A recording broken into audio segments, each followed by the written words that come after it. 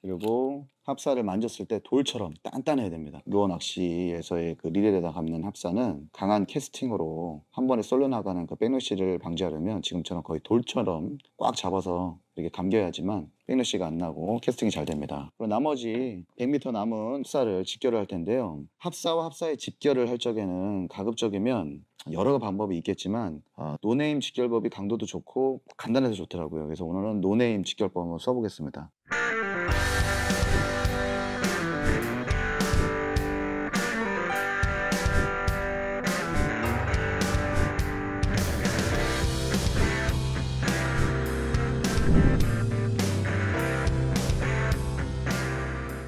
최전의 Fishing Story 오늘도 시작하겠습니다.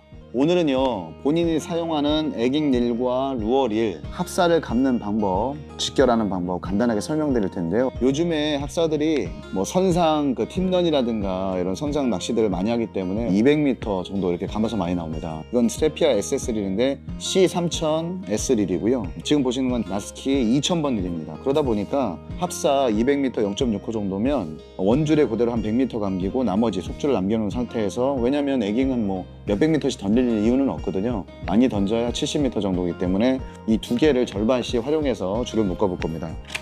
일단 0.6호고요. 지금처럼 이렇게 릴을 제껴 놓으시고요. 줄을 두 번 정도 합사를 감고 난 다음에 그 안에다가 세 바퀴 정도 돌려서 놓으시고 이렇게 묶어 주시는 게 가장 안정적입니다. 자, 두 번, 세 번 정도 감아서 이게 묶어주시고요. 촉줄까지 풀려지는 일은 거의 없기 때문에 좀 짧게 자르시고 베일을 닫기 전에 한 번을 더 꼽니다. 꼽아서 한 번 더 감아줍니다. 한 번 더 감아서 자 이렇게 이렇게 해주시고 난 다음에 네, 이렇게 되는 거죠. 세 줄이 풀에 밀착이 되겠죠.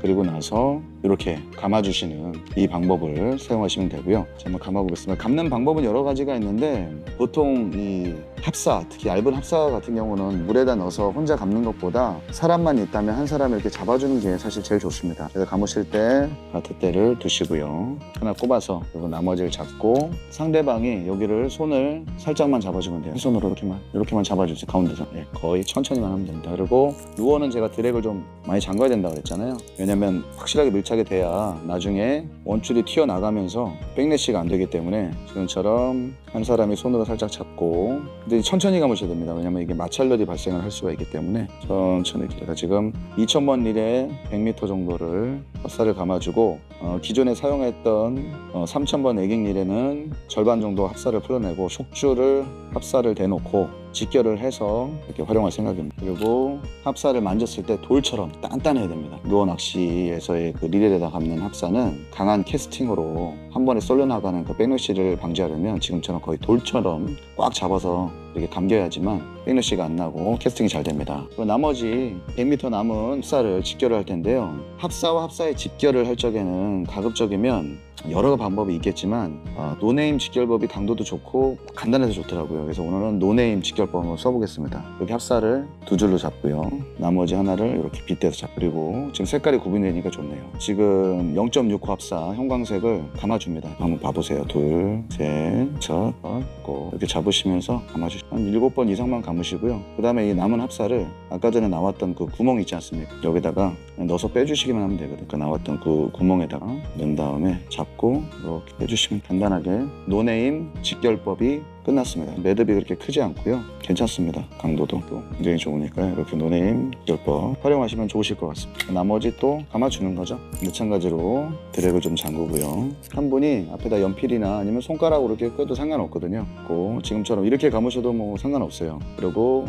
낚싯대, 바트대를 껴놓고 하셔도 상관없고요. 중간중간 돌덩이처럼 확실하게 합사가 감겼는지 그것만 확인해 주시면 됩니다. 눌러서 예, 돌덩이처럼 단단하거든요. 이렇게만 해주시면 하나의 릴에 다 수용이 된다고 해서 감아버리면 사실 100m는 그냥 안에서 계속 염분 먹으면서 사용을 못하는 그런 경우가 많습니다. 그래서 어, 도보권에서 에깅을 하실 때는 100m 정도의 합사면 충분하거든요. 사실 합사가 터지는 경우가 없고 바닥 걸림이나 기타 캐스팅하다 터지더라도 서로 직결한 부분이나 목줄이 터지는 경우가 대부분이기 때문에 에깅에서는 그 합사가 유실될 일이 거의 없습니다. 그래서 이렇게 100m씩 본인 릴이 두 개라면 이렇게 두 개를 다 활용하셔서 둘 다 세 줄로 합사를 활용하시면 아주 좋으실 것 같아요. 그래서 제가 어, 릴 정비하는 거, 합사 감는 거 이렇게 보여드렸고요. 자, 그리고 합사와 합사를 직결을 해야 되기 때문에 이번에 초보자 초보자분들, 그러니까 저는 FG knot를 많이 사용을 하고 또 쉽게 묶지만 초보자분들은 어렵기 때문에 no name knot법으로 해서 목줄도 한번 연결해 보겠습니다. 에깅에서 서로 knot법을 할 적에 뭐 FG knot를 하시면 더 좋고 한데 대부분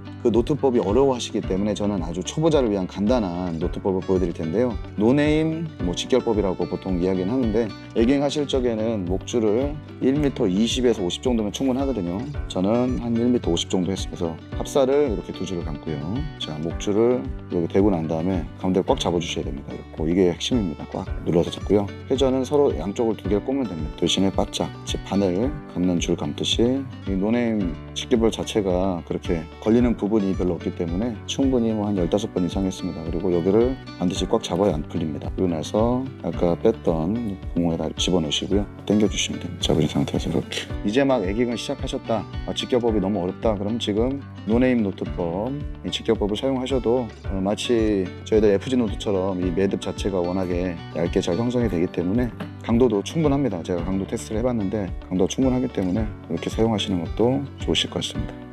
자 그러면 어, 합사 200m 사용 용량을 각각의 릴에 100m씩 잘 나눠서 이렇게 활용하는 방법을 설명드렸고요. 그 속줄은 특히 루어 낚시에서나 아니면 합사를 사용할 적에는 속줄을 나일론줄을 하는 것보다는 합사에 합사를 직결하는 것이 훨씬 부드럽고 캐스팅이 잘 되기 때문에 이렇게 직결을 하시고요. 그리고 knot법 너무 복잡하게 생각하지 마시고 지금 보여드린 초보자분들 쉽게 할 수 있고 어, 강도가 충분히 나오고 하는 이 knot법 no name knot법 활용하시면 많은 도움이 되지 않을까 해서 오늘 노트 법 보여드렸고요. 아예 연결하는 것도 다시 한번 해보겠습니다. 에깅에서는 이 200m를 다 쓸 수 없기 때문에 나머지 남, 그 속에 감겨져 있는 거의 한 120m, 130m의 그 합사는 성능이 계속 떨어지기 때문에 이렇게 절반씩 쓰면 성능 좋은 새 합사를 편하게 쓸 수 있으니까 이렇게 하는 게 훨씬 낫더라. 근데 150m짜리면 75m까지 사용하기가 좀 그런데 지금은 200m로 이렇게 출시가 많이 되기 때문에 이렇게 활용하면 훨씬 새 것 같은 낚시 운영을 할 수가 있죠. 그리고 이게 0.6호고요. 지금 목줄은 2호를 사용했습니다. 에깅줄은 2호를 사용했는데 제가 합사는 거의 3배의 강도를 지닌다고 했잖아요. 그러니까 63, 18을 18이니까 1.85 정도 가면 되는데 1.85는 없고요. 1.75를 하든가 2호를 하든가 해야 되는데 저는 좀 강하게 2호를 했고요. 세 줄이다 보니까 사실 강도가 더 좋아서 2호 정도 목줄을 직결을 해도 어, 좋다는 판단이 섰습니다. 에깅은 반드시 스냅돌에 사용하셔야 됩니다. 루어 낚시에서는 자 이렇게 길게 두 줄을 잡아주고요. 그리고 똑같이 한 번 넣어주는데요. 한 번 빼고 난 다음에 고리에다가 한 번 더 집어넣었을까 넣었던 고리에다가 한 번 더 집어넣고 집어오고 난 다음에 집어넣어줬죠. 이렇게. 그럼 지금 네 줄이 잡게 됩니다. 스냅돌에 연결되는 그 목줄 연결되는 게 이렇게 네 줄이 잡게 되거든요.